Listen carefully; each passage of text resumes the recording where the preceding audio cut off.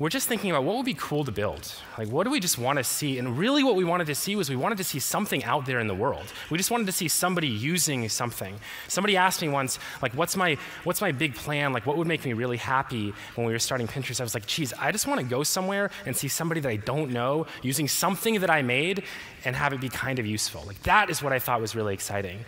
And so we came up with this idea for something that was web based, really simple, something that we would use personally, and that was Pinterest.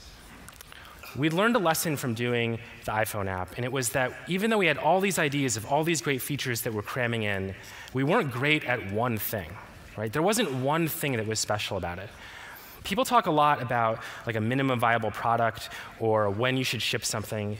And my advice is you should ship when you have one thing that you're proud of, like one thing that is worthy of someone's time. And that could take you a long time, and it could take you not very long at all. But if it's not worth their time to check out, you're not going to get any good feedback on whether it's good or not. They're going to see it and they're going to be like, this is crap. Thank you for the feedback. Start again. And we decided that the one thing we had to do really well if we were going to make a website about collections, we had to make it look really cool. Like if it didn't look cool, then no one is going to make a collection because they don't want to show their friends because this thing that they just made looks really lame. So this is the first version of Pinterest, and it didn't look very cool. And November 2009, we started building the basic infrastructure and started really iterating on what it could look like. How could we make it look really interesting? So we went through a lot of versions of this vertical grid, horizontal grid, both left side nav, right side nav, top nav, different logos.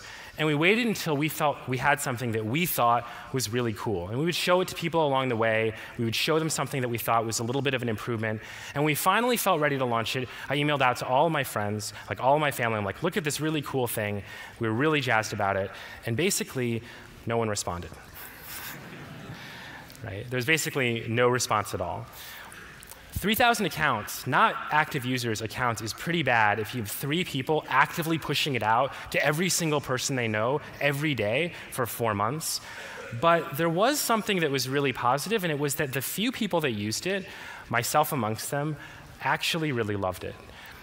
And instead of immediately changing the product, I was like, maybe I can just find more people like me. And that also fits with our current operating strategy since we don't have very good engineering resources. So we're just going to market this thing. And that's what we started to do. Um, we started to have meetups, and we also marketed online.